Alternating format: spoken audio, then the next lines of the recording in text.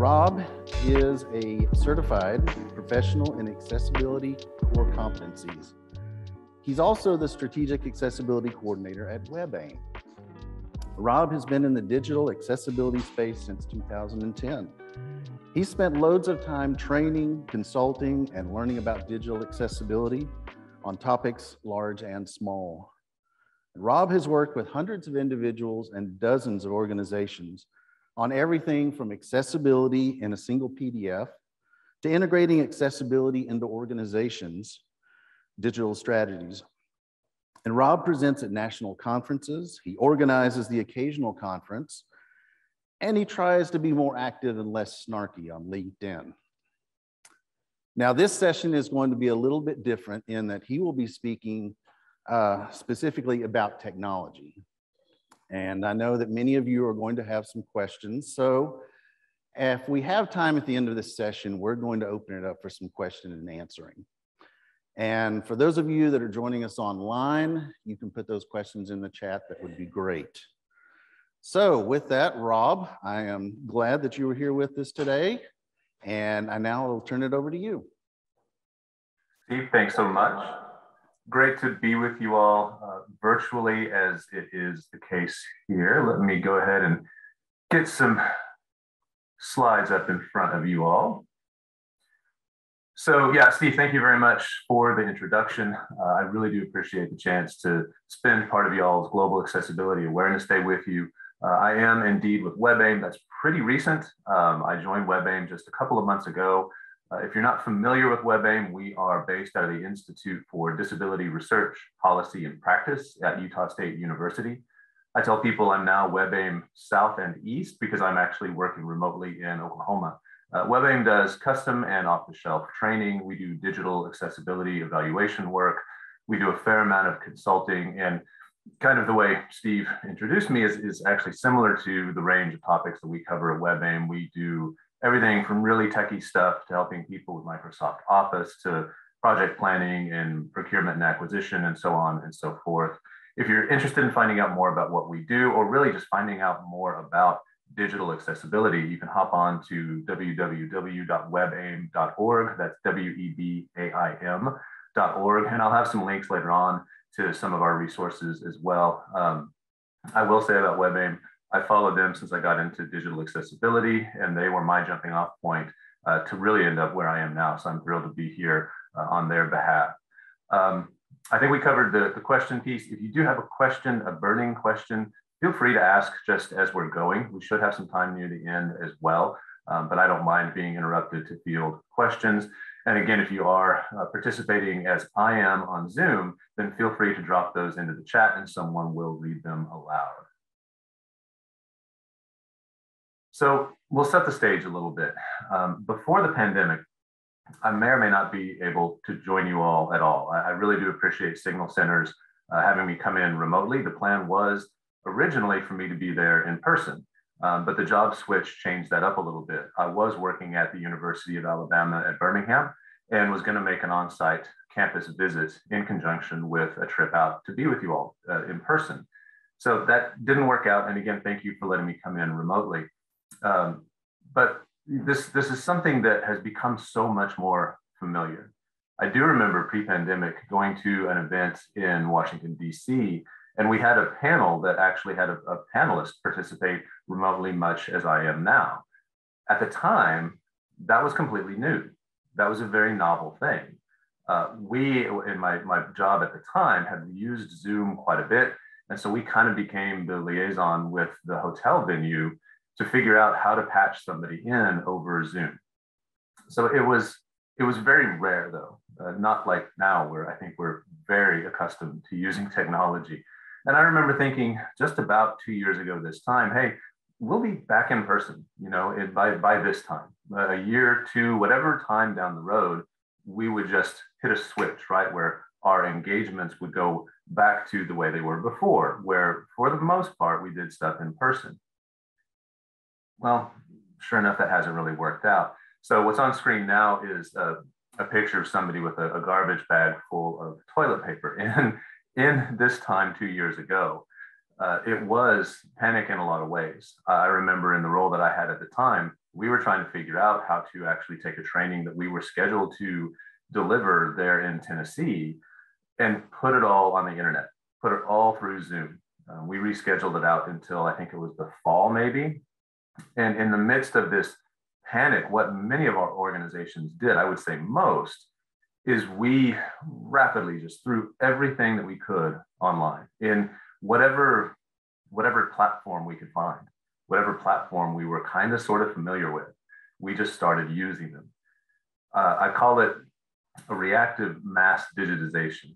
Uh, reactive in that, of course, we couldn't anticipate the world breaking the way it did two years ago.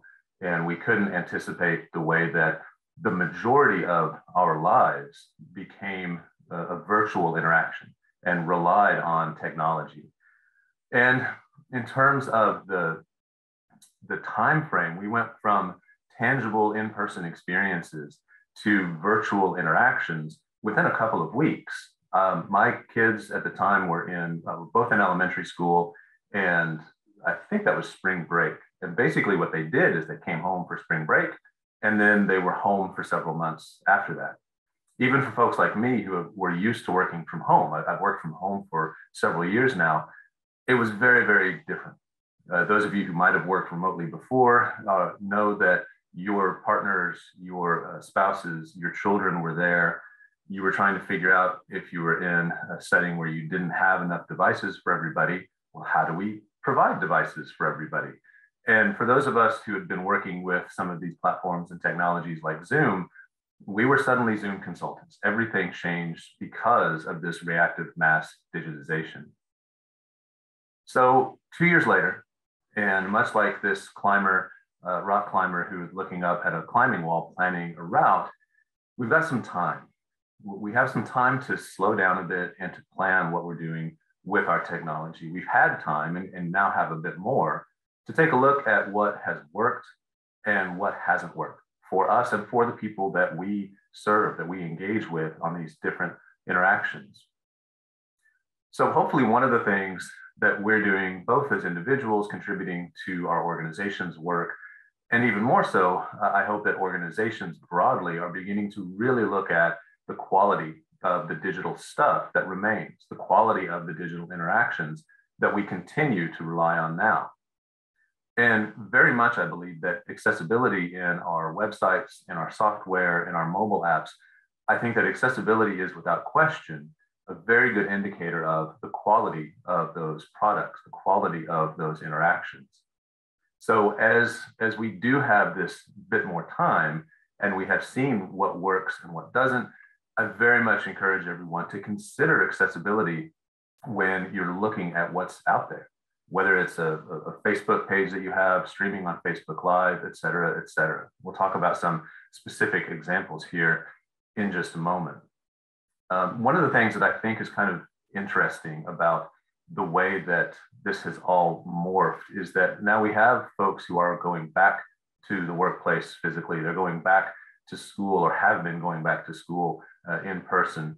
Uh, and in a lot of cases, we're still we're still meeting people on Zoom. I, have read quite a bit and heard quite a bit anecdotally about people finding it kind of amusing that they have gone back to their office to spend most of their day meeting with people on Zoom. On one hand, as I've said before, we are getting more used to these interactions at this point, and, and we have kind of settled in as much as maybe we're going to, to dealing with technology in front of us all the time. But if we have a hybrid team, then we're going to continue to use Zoom or Teams or some of these different platforms to uh, engage with people. And there's a tremendous opportunity with these digital interactions and just with uh, making it so that people can more freely work from home.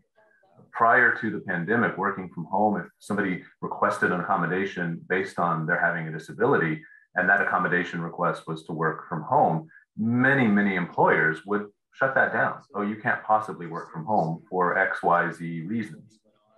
We had this, this massive pilot with our mass uh, digitization where a lot of us were working from home and did so very successfully.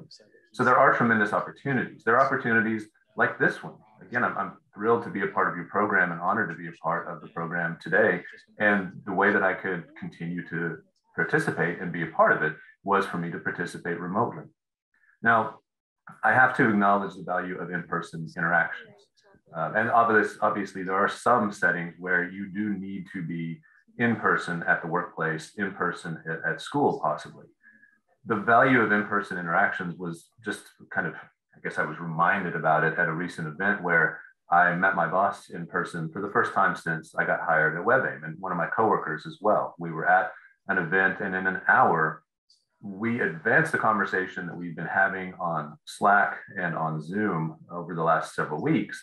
We probably advanced it, oh, I don't know, another several weeks because we had about an hour where we just talked about work and we came out with action plans and next steps. So I don't want to take away from the value of in person, but technology gives us a tremendous opportunity. What's on screen now is uh, just like an over the shoulder shot of someone on something like a Zoom call. There are several panels and, and smiling faces uh, on the other end on the laptop screen that's on this uh, table.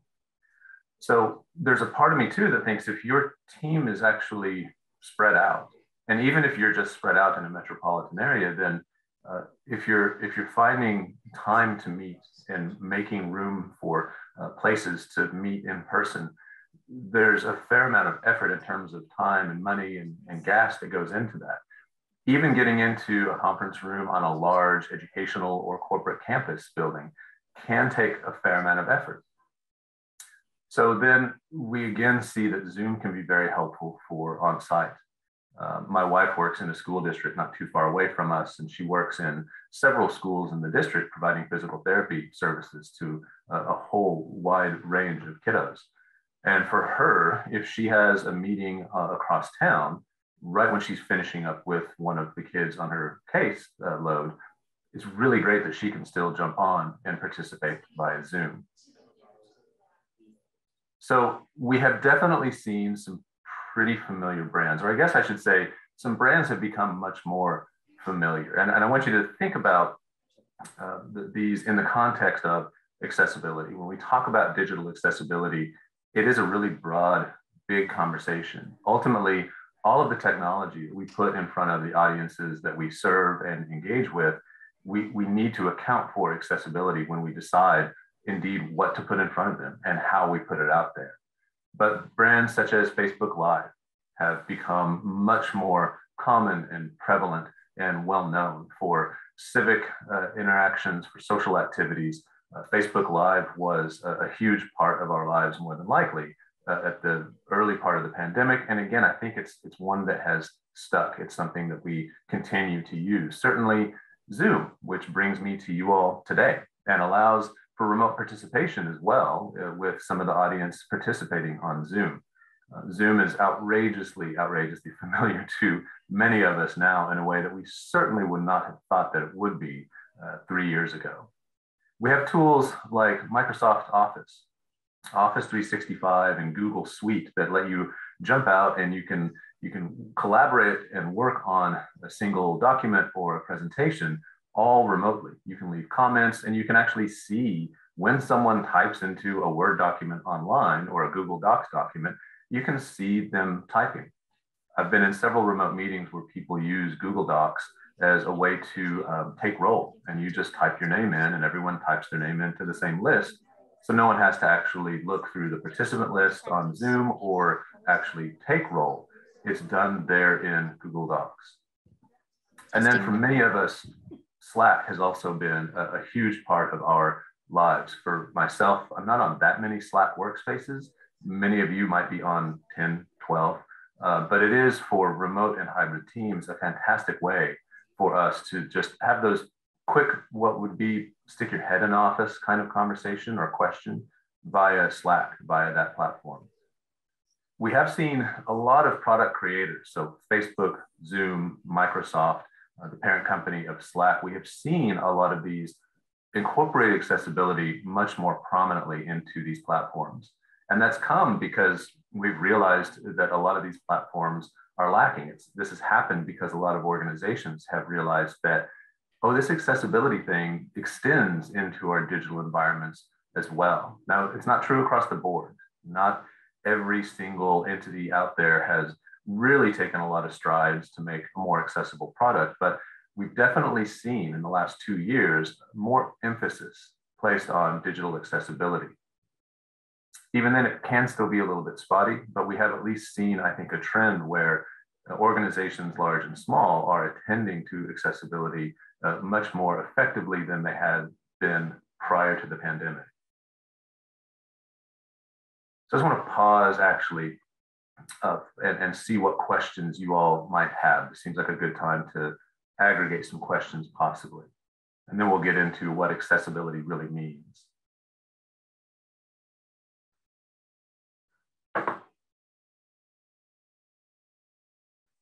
Okay, very good. So with all that kind of stage setting, what does a more accessible thing actually do? Uh, well, I think that if we if we begin to engage accessibility, one of the things that I hope very much happens is we as individuals and organizations think more about how people actually use our digital stuff. We think more carefully about what's important to people, what is important to us to get in front of people, and we think about a, broader way, uh, a broader ways that people might engage with their devices, which then changes the way that they interact with what we put out there virtually. So after we have that mindset, I think it's beneficial to understand that a more accessible thing gets out of the way. I say that a fair amount of the time. Accessibility is often about getting the web out of people's way. It's about making sure that people with disabilities don't have barriers that are not at all like and yet are very similar to, if not identical to, physical barriers to access. You know, you think about a lack of curb cuts or buildings with multiple stories and no elevators. When we move to the virtual space, the same kinds of impacts are there. Again, the barrier is different, and I'll speak to some more specifically here as we move a little bit further on in our time together. But really, what we're aiming for is to get the web out of people's way. We want to provide greater equivalence of access to our digital spaces. And since those digital spaces are so much larger now, we in turn want to make sure that we are providing as much equivalence as we can to the opportunities that our digital spaces provide. I would say that accessibility in the virtual space as well as in the built environment gets us going toward inclusion. Accessibility and inclusion are uh, different, but there's a dependency there. You can't very well have an inclusive digital space if it is not indeed accessible. And then I think that there's a parallel again between digital and physical spaces when we think about the harm that's caused by a lack of accessibility. Now, I say, I, I will often phrase things as more accessible as opposed to completely accessible, because I think that looking at accessibility as a thing that we will always work toward is maybe more helpful than thinking of it as a thing we're going to finish. Our technology is always going to change, whether it is all at once in two weeks, or it is a more planned out and careful change over time, our technology is consistently and constantly going to change.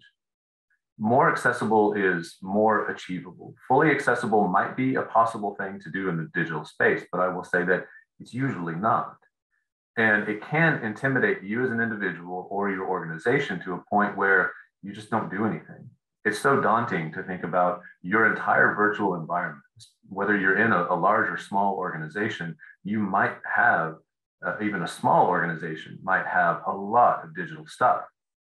So instead of thinking about let's get to 100% accessibility, we want to take steps, which I'll talk about a little bit more here later on. We want to get started. And what we find too is that in reality, even if WebAIM does an evaluation on a website and we say, it's accessible as of this day. The next day, there's likely to be something that pops up and makes it not completely accessible anymore. And it's also important in this conversation to remember that there are a wide range of impacts that an inaccessible part of a website can have. Some things might be annoying to a screen reader user. Others might keep somebody who just uses a keyboard to navigate the web from being able to do anything at all. And that's, again, one of the reasons that I general, generally talk about trying to make things more accessible. So for someone who uh, is is, blind or has a form of uh, low vision, there are several things that the web can break. on screen on this left-hand side, I've got this little screen snippet, and this has been zoomed to, I think, about 200% for this screenshot. And what we have is a situation where now we have text uh, stacked on top of text. We have some text that has been pushed out of the, the space that was allocated for it on the page. So it's not even visible. It's, it's not even readable to someone who has used this two to 300% zoom. And those of you in the AT space know that 200% isn't that high. On the right-hand side, um, we have a situation on Zoom that often happens where, again, you zoom in on the web page and you make somebody start to go on a scroll hunt. There's a, a, now not only does someone have to scroll up and down to visually read the page, there's a new scroll bar across the bottom, which means that somebody's going to have to scroll left and right to be able to actually see the content on the page. So these are things that we don't want to do. These are things in the web that break the experience or that cause somebody to have to go to uh, potentially much greater lengths to be able to actually read what's there. For uh, carrying on into this is a soapbox thing of mine, I'll try not to get on my soapbox, but uh, color contrast is a critical part of the web as well. And so on this left-hand side of the slide, we have some text on a dark gray background that's just a little bit lighter. It says this text is very hard to read because in fact it is. Now I can't, I'm not there in the room. I don't know what kind of projection uh, setup you have. I've used slides like this in the past where as soon as the slide comes on, it makes my point for me. The text has been in some cases completely invisible uh, because of the projector. Then on the right-hand side, we have text that just says this text is much easier to read and it's white on this dark background.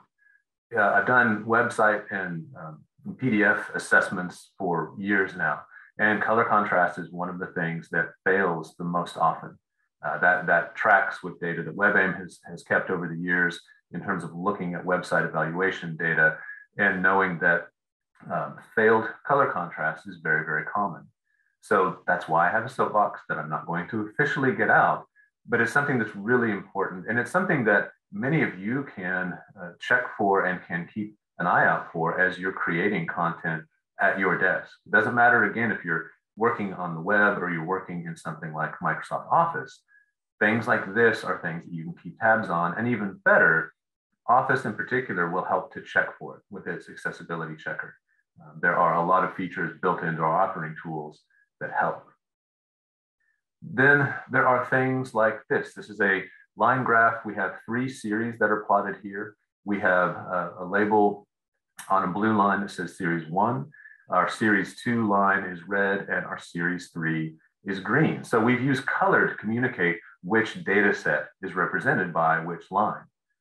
Well, that's an issue for a lot of folks, depending on different forms of low vision. Uh, maybe this is printed out on a black and white printer. And if we look at this in grayscale, you really can't tell which is which. Two of them are basically the same. So if all we use is color, we set ourselves up to create an environment where somebody can't actually consume the content that we have put out there. Now, there are multiple ways around this, and tools like uh, those at Microsoft and Google will let you do things like I've done here on this third one, where I've just added a marker along each one of the lines. So now series one is still blue, but it also has a triangular shape at each data point. Series two is still red, but it has a diamond at each point, and series three is still green, but I've added a square shape.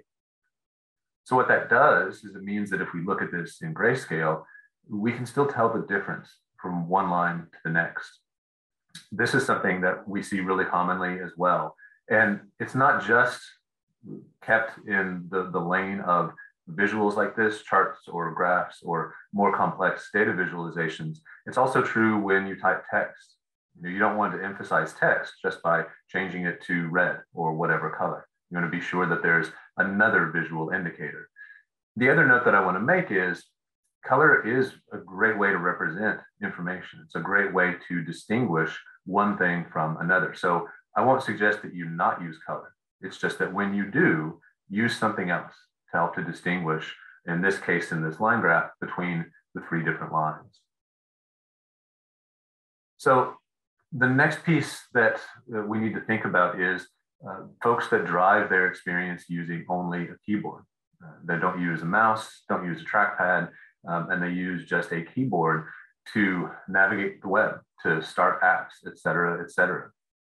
And the way that you can you can check this, it's actually something you can do. You don't need any special tools. Uh, you just need a keyboard, and you need to be able to navigate using the keyboard. It's helpful actually in accessibility testing to be able to see because there are a lot of visual cues to this. And if there are parts of a website that are not at all available to a screen reader, then if you're using a screen reader, many of you who use screen readers well know this, you're not going to know that that content is there. There are all kinds of ways that techie people can hide content from screen reader users and not even know it. In other words, it's visibly there on the screen, but a screen reader cannot reach it to announce it. So when we're talking about keyboard, we're actually talking about a pretty broad range of folks. It might be that somebody has a tremor that makes using a mouse impractical or very time consuming, and a keyboard is the best way to go. A lot of folks using screen readers, if they're not using the touchscreen on their device, they may well have a Bluetooth uh, keyboard that's attached, or if they're using a Braille display, it'll send keyboard commands. So there are all kinds of people that uh, for whom keyboard accessibility is really, really important. The way that you can you can begin to check for this, and there's some nuance. So don't go back and take a look at your website, tab through it, and declare it broken um, without doing a little bit more reading. But if someone can uh, tab, use the tab key on the keyboard to move through all of the things that you would normally interact with using a mouse, then it's at least a step toward keyboard accessible. If you overshoot something, let's say that you have a bunch of links on a web page, you hit the tab key, you should go through them in an order that makes sense. You should be able to see uh, each one that you land on. And if you overshoot one, if you hold down shift and hit the tab key, you should be able to go back to it. And you should also be able to activate things like links and buttons just using the enter key, for example. Those are some quick tests. That's actually a, fair amount of the effort that goes into evaluating accessibility on modern websites because things can get very complex very quickly. And there are a lot of things that a trained evaluator needs to look for without ever using a mouse, just driving the experience from the keyboard. So next, if we think about someone who is deaf or hard of hearing, um, I'll, I'll, drop this link into the chat. I should have it queued up for those of you who are on chat. But there are things like transcription for a podcast, for example. Um, the example that I have here, I actually may show everybody real quick. Yeah.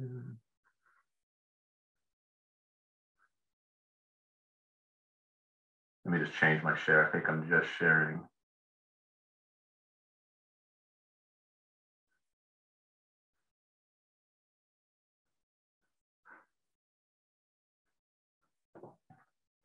So I will, uh, I'll show this to you because NPR does a pretty good job of transcribing their podcasts and such.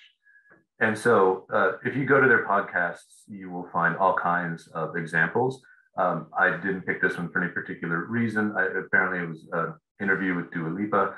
So you've got the ability to listen to it audibly. But if you're deaf or hard of hearing, you should have a transcript available. So a transcript for strictly audio looks very much like this. We've got speaker identification. In this case, Rachel Martin is the host. And we have the little bit that she has said. And then when we kick over to an audio clip of Dua Lipa singing, there's a clip and it indicates that she's singing and it's a lyric from one of her songs. So transcripts are, are key to access and that they're not something that should be done as an accommodation. That's the other point with accessibility that I should make. When we're talking about digital accessibility, as we do in the physical space, it's about making the environment accessible proactively. And I'll dig a little bit more into that later on, but it's a good time to make that point. So transcripts for things like podcasts, anything that is audio only um, are the way to go. On the right, of course, we have an example of uh, captioning. This is a, a, YouTube caption from one of the videos about our evaluation tool. Um, and captions on YouTube, very similar to what you see uh, on broadcast television. Uh, now, oftentimes, they're, they're not done that well. If you let YouTube create captions automatically and you actually read them, you're going to find mistakes, especially with spelling and grammar and uh, names, often name spellings. Uh, there are going to be some tricky things that you'll need to go in and fix. And it's really important to consider as well what kind of automatic captioning you have in a platform like Zoom. Human captions are humanly provided or created captions are always going to be a higher level of quality. But for your meetings, for your smaller events, take a look and see what Zoom actually does for you, um, what Teams does for you. They're not perfect, but the, the people, this is anecdotal, not scientific. The folks I've talked to who are deaf or hard of hearing have said that it's a really it's an improvement over the in-person meeting experience a lot of the time. If you're reading lips and you have a bunch of people talking, especially if people start talking over one another, um, folks are going to be worn out, uh, potentially not be able to track the conversation. Whereas if they're participating on Zoom and the captions are, are pretty close, that can be a better experience. And the other piece to keep in mind is what your platform does in terms of supporting ASL interpretation. Um, Zoom has refined a few things to make it so that uh, ASL is a little bit mm, a little bit better than it was at first. You used to have a limit to how many people you could have visible in, on the screen at one time. And they've done some things to address that over the last few years. Uh, that's the one that I'm the most familiar with, but that's something that if you're going to begin to do like Signal Centers has done and stream a, an event out over a platform, search your platform name and ASL and, and make sure that there are uh, processes out there that let you provide that as well. For someone that does indeed use a screen reader, there is this keyboard tie-in that I talked about before. Uh, it is really important to be sure that the keyboard can get to everything in the page because a lot of folks who use screen readers will drive their experience from the keyboard. But there's a lot of behind the screen kind of stuff. For those of you who are kind of familiar with the web, um, things like the way buttons and links are actually built are critical to making sure that someone who's using a keyboard only and who's using a screen reader can know what the button is and can actually trigger the button and they understand where the link is going to send them and they can actually activate the link. For those of us who create content, anytime you add an image into your um, into your content, you need to be sure that you provide a text equivalent for it. You need to convey the intended meaning of the image. And your authoring tool should let you do that. I say authoring tool, that makes it sound maybe fancier than it is, but if you're in Microsoft Word quite a bit, if you are in PowerPoint quite a bit, you can add something called alternative text to your images. And that's where you type a couple of sentences to convey the meaning that the image has. Also, if you're in Word or if you're writing content on the web otherwise, instead of just bolding your headings and making them a little bit larger font, if you have section headings in a document, it's, it's much better to actually use the heading styles that are built into those authoring tools. Uh, I don't know of too many that don't let you use headings anymore. It's really, really common, and it's something that you should be in the habit of doing. What all of these things do is they provide the behind the screen information that a screen reader needs in order to announce the right stuff to someone who's reading via that technology. So again, your text equivalent for a visual, uh, a screen reader won't try to interpret what a, an image looks like. Now, a quick note on uh, Microsoft Office. I think Facebook, there are other platforms that are trying to do this. They're touting their ability to automatically create alternative text, to automatically create this text equivalent. And it's not there yet. Generally, what you have when you let the platform write that for you is a description. But most of the time, your text equivalent is not just a description, right? So if you have a picture of a bird that has a, a fancy tail, you can use that image in a lot of different contexts. You might use it in an article about bird watching, and there you might describe the tail a little bit as a, a, way to quickly identify that bird. If you're talking about state symbols, then that bird might be the state symbol of a particular state, and your text equivalent will speak to that instead. So don't let the platform write this for you. Um, they're all pretty easy to go in and change. right there in the flow of your authoring. Um, and it's a key thing to do to be sure that that text equivalent, that alternative text is actually valid. When I talk about heading styles, what using a heading style will do invisibly for those of you who are sighted looking at the screen, it will wrap up whatever text is in that heading in a little, basically a little heading package. And what happens is when the screen reader hits that bit of text, it'll announce the text and it'll also announce that it's a heading. And it will announce different numbers. Uh, headings are numbered so that you can organize your content and structure your content using the numbers on them. So it's a lot of stuff that happens back behind the screen that is critical for uh, that equivalence of experience to come in for folks who are using screen readers. So then, how do you do this? Uh, I've talked about a lot of platforms. I think for a lot of organizations in particular, this can become daunting really quickly. Because if you really sit down or stand up, as you may choose, and you think through all of the technology that your organization is putting out there, and you think about technology not just aimed outside of your organization, think about the technology that aims internally to those of you who work for the organization.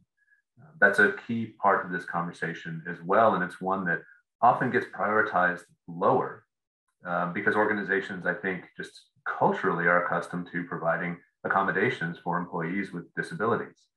The goal to move toward accessibility in our technology really needs to include what's facing outside of the organization and the tools and platforms that you all work with on a regular basis within.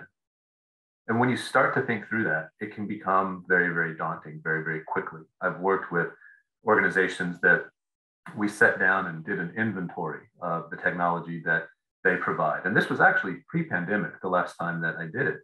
We ended up uh, with a list, I think it was 25 or 30 different platforms. Some were relatively small, some were very, very large, some were relatively new, and some had been in place for quite some time. And what I saw was the organization not, I couldn't see this directly, but I could get the sense that it was very intimidating. And that question of, well, now where do we even start is one that often does keep organizations from moving. So, my advice is first start. And you can do that by looking at things that might be local to you.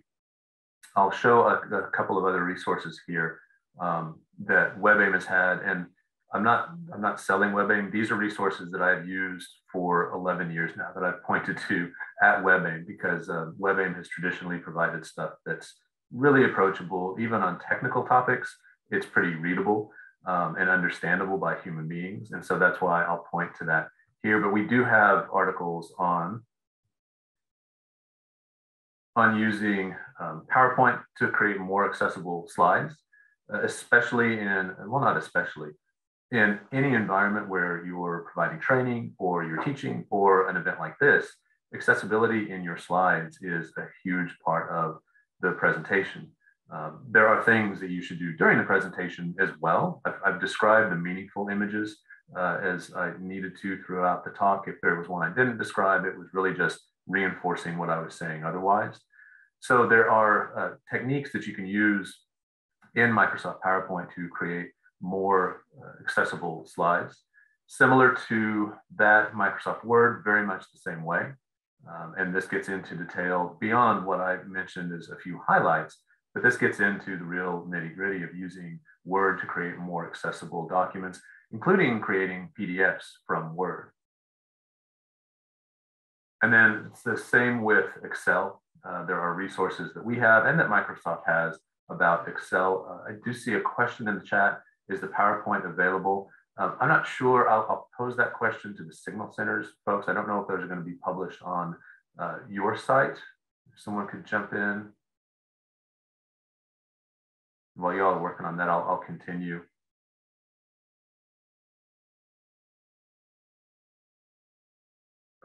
Um, and then in general, if you are a, a web professional, if you live more in the web space, we do have several articles about much more specific and technical pieces of accessibility, um, but we also start out really at a high level with the impact that inaccessible technology has with uh, different kinds of disabilities as well.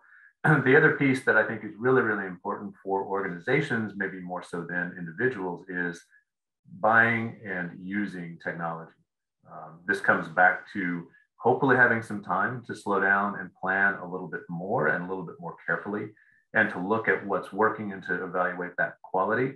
Um, it doesn't make sense to not account for accessibility when you buy something, spend money on it, and then find out that it has a bunch of barriers to people with disabilities. So whether you directly handle purchasing or you're a voice in decision-making processes, it's really important to talk about accessibility very early on, to bring that into the conversation as soon as you can. And with your existing things, it's something to catch up on and begin to account for with those platforms that are out there and available already.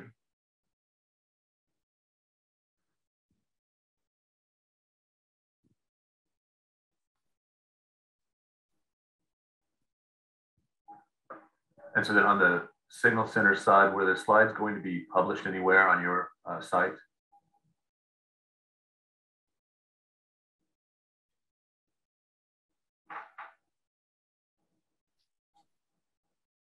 We'll get that question answered. So more broadly, apologies, there's a street sweeper going down the street if there's some background noise. Uh, more broadly, it, at the organizational level, what we encourage organizations to do is to view accessibility as something that is an ongoing program. Uh, I mentioned a little bit earlier, kind of off the top, that accessibility isn't really anything that you finish. It's just something that you continue to work on. And that's because organizations will continue to deploy technologies. They will uh, continue to uh, bring on new platforms, continue to find new ways to engage with people virtually. And so, just in the same way that organizations will look at uh, security or privacy as ongoing programs, accessibility is the same way. It needs to be something that's built into what an organization does, built into decisions, not just about uh, purchasing, like I was just discussing, also about content, also about the things that we publish and the way that we engage with, with people out there in the virtual space, and again, with our own employees. So we look for the people who do technology, the doers that create. Uh, many of you may well be uh, one of the doers who creates and uh, contributes to the digital space for your organ organization. Then you have a lot of folks that influence those decisions, that influence the direction of things. Um, if someone is in their marketing shop for their organization, well, marketing has a lot to do with brand colors and how those colors are used. So, marketing might not create all of the web stuff or all of the digital things that are out there, but they're going to influence it by uh, publishing a color palette that people in the organization are either required or strongly suggested to use. There are other people that influence in more subtle ways that are key to this conversation as well.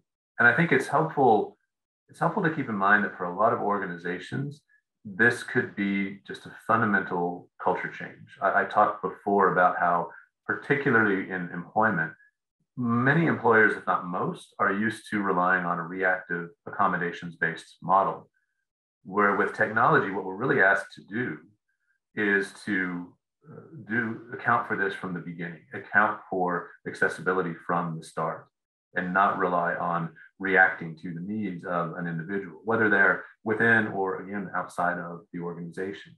And that can be a, a fundamental change in the way that the organization collectively thinks, right? And I think that that's helpful to keep in mind for uh, larger conversations that you might have or that others might have. And I also think it's good to keep in mind when you have those smaller interactions where you kind of feel like you want to crawl out of your skin because someone says, well, why would someone who's blind use our website? It's a very visual thing. Some of y'all might have heard that question. I've heard that question. Uh, it's paraphrased. People might have put the words in different order, but I don't hear that question while I do kind of get a little creepy crawly about it I think that question and questions like it are going to come from a place where people just don't realize that number one, there are powerful assistive technologies that people with disabilities use regularly to navigate the web and interact with the physical world. And on the other side of it, there's a responsibility for those of us that contribute to technology to make sure that we are building that stuff and buying things that are accessible. And when you put those two together, there's no reason in the world that somebody with any disability shouldn't be able to interact with us virtually, uh, again, as equivalently as possible to uh, non-disabled peers.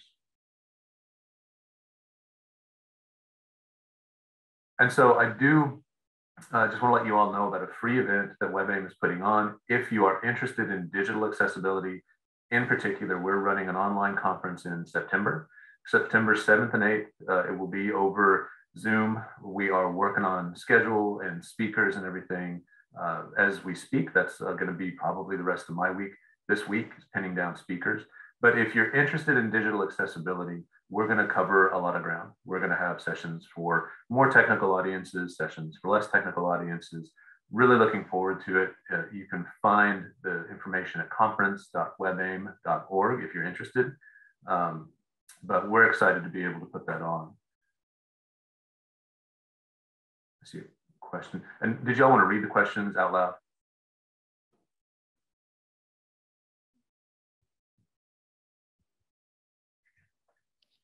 Rob, this is Sandy Lambert with Signal Centers. We're going to keep checking the chat. Um, and if anybody here in the in-person auditorium at Chattanooga State has a question, just flag me down. All right, we've got a question. A question from Ezra. I'll hold the mic for you. Could you give us a good example of uh, the right description for alternate text and about how long it should be? Yeah, so uh, the, the first answer is everyone's favorite, the least favorite answer. It depends entirely on the image meaning in that context. Uh, the way that I, I tell people to maybe think about it, and hopefully this is helpful when it comes to what should you put into alternative text is think back to before everything was um, a, a, voice call where you could see people uh, or have at least that option. Think back to just a plain old voice call. If you were reading that content what would you say when you got to the image? That can be a helpful way to figure out what kind of content to put into the alternative text.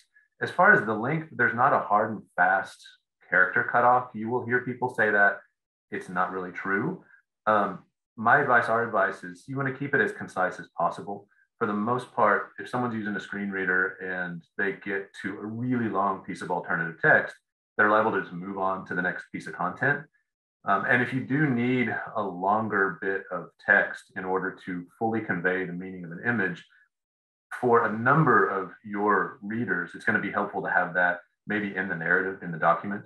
Um, if you have an image that you are describing and it's a very detailed image, then it can be helpful for people with different learning styles to have that in the narrative. Uh, as a rule of thumb, I tell people when they get to the end of a second sentence typing alternative text, to start to think about how long is this actually going to be?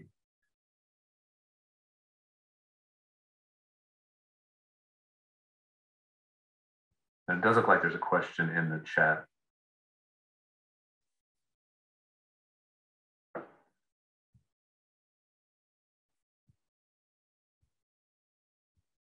And that's uh, uh, so the question is, given the overwhelming numbers of colors offered in the digital environment, could you talk a little bit about how to work with colors when dealing with visual disabilities, in particular with those relying mostly on voice output? Um, so by voice output, um, a clarifying question, do you mean a screen reader in particular or some uh, something like Read Write Gold or even like Adobe's Read Aloud that will let you uh, put a visual cue over words and sentences as it reads? Um, to the point about working with colors in general, um, the bit about not just using color to convey meaning is a key one. Um, so if you do use color to differentiate things in a pie chart or data viz, data visualization, then um, you want to be sure that you're adding another visual cue to distinguish things from one another. With color contrast, there are a number of tools that you can use to check color contrast. Microsoft Office has built quite a bit into I know at least Word and PowerPoint, those are the two that I use the most frequently. And um, they're pretty good. Uh, they, do a pretty good job when you have text on a background, if it's plain text that you've typed in. They can't check color contrast for text in images. Um, if you hop onto the webaim.org site uh, and look for our color contrast checker, you can use it to check contrast on anything. Um, it'll also, uh, it'll let you enter, if you're in the early design phase, you can use a little eyedropper to grab a color swatch and you can drop in a foreground and a background color. And color contrast is something that is pretty much pass fail at this point with the current web standards. I'm not suggesting they're perfect because there are some combinations that pass color contrast uh, measurements that are really difficult to read. And there are others that are easier to read that fail, but those are usually edge cases. Um, so use the tools that are, are built into the authoring environments. You can use our tool. There are other really good color contrast checkers that you can find out there on the web. Um, and then when you talk about colors with visual disabilities uh, for folks using screen readers, if, uh, if someone is just using a screen reader and can't see the screen, then that's where, oh, your, uh, your text equivalent is gonna come in and be really important. Uh, for things like that line graph that I showed, I might write uh, just a brief bit of text um, that describes the trends of the three series, something like that. Um, otherwise, you're still really relying for someone who has low vision and might still use a screen reader or someone that uses a screen reader that uh, can still see the screen. You're relying on accounting for color contrast and you're relying on uh, that notion of not just using color to convey meaning. Um, but color color is tricky. And as I said, it's really, really common error that we find when we do website evaluation.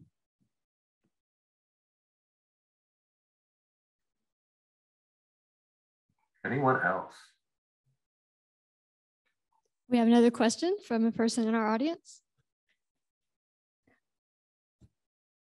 You want to say hi? Introduce yourself? I'll hold it. All right. Hey, my name is Connor. Um, thank you for this talk. I wanted to ask, there's a lot of people talk about uh, visual disabilities when it comes to website design.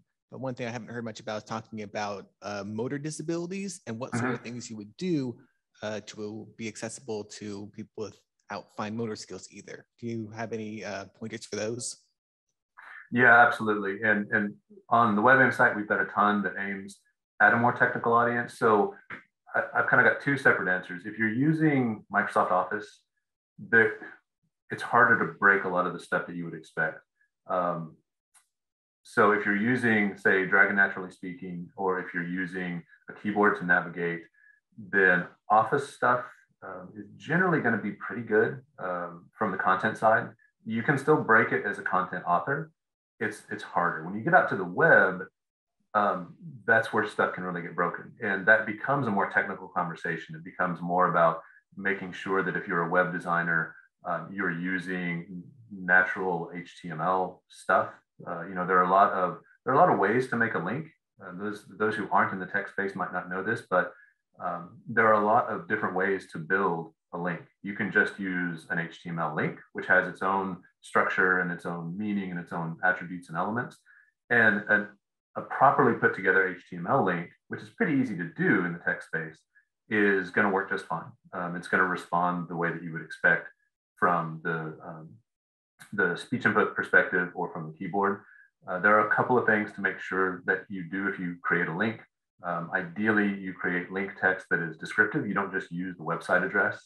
So if you have, um, oh, like the couple of links in the slides to Microsoft Word, uh, I just linked the word Word at that point, as opposed to having the full link to our web address.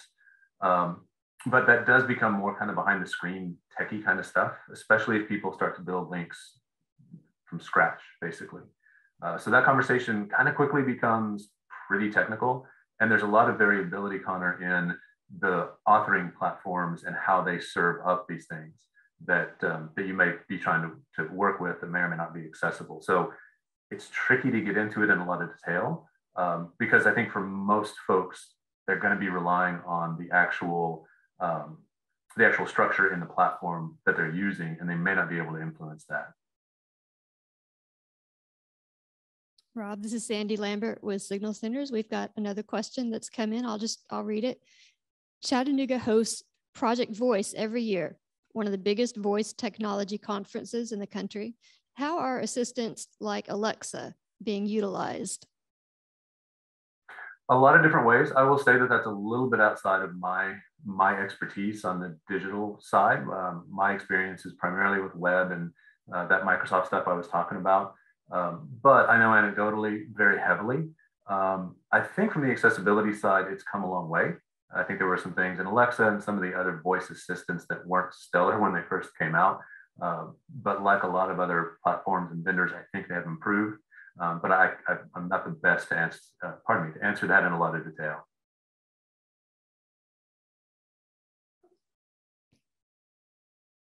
Okay, here's another question for you. Have there been any surprises for you as a professional in the AT field? You know, any any technology or anything you didn't expect to see?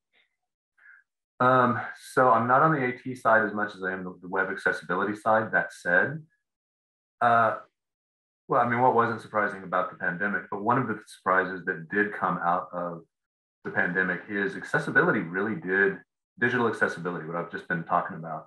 Uh, it had a little bit more of a limelight put on it over the last, and it has had for the last couple of years. Now, I alluded to that before.